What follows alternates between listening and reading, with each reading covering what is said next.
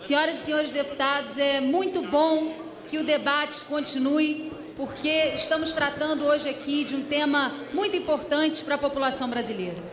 Nós não estamos hoje aqui julgando o deputado Eduardo Cunha.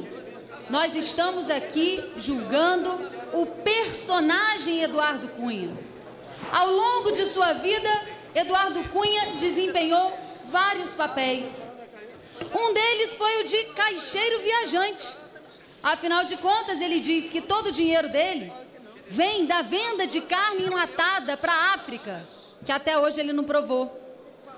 O segundo papel desempenhado pelo deputado é o papel de lobista. Quem não se lembra aqui da famosa emenda Tio Patinhas, naquela polêmica votação da MP dos Portos? O terceiro papel desempenhado pelo deputado é o papel de fariseu, porque ele teve a coragem de colocar carros luxuosos, comprados com dinheiro de propina, em nome de uma empresa fundada por ele chamada Jesus.com. O quarto papel desempenhado pelo deputado Eduardo Cunha, que está de costas para mim porque não consegue encarar a verdade, é o papel de psicopata. A tal ponto que acredita nas suas próprias mentiras. E é por essas mentiras que ele será caçado nessa noite. Ele diz que não mentiu a, CPI da Petrobras, mentiu sim. E fui eu, deputado, a autora da pergunta que lhe trouxe aqui hoje.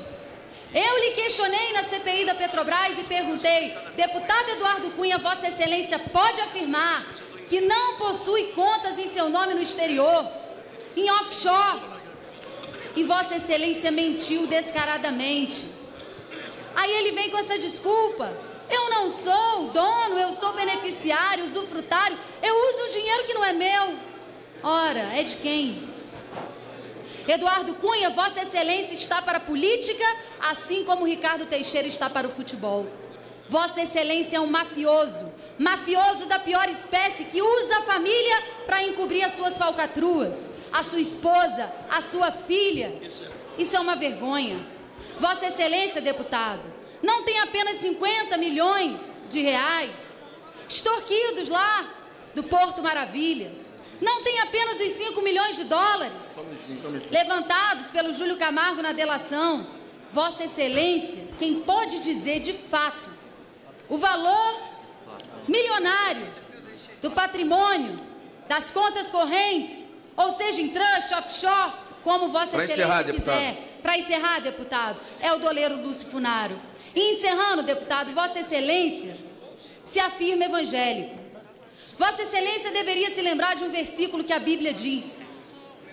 Um versículo muito importante que trata, deputado, do dinheiro o versículo está em Timóteo e diz: O amor ao dinheiro é a raiz de todos os males. E esse foi o mal de Vossa Excelência. Fora Cunha.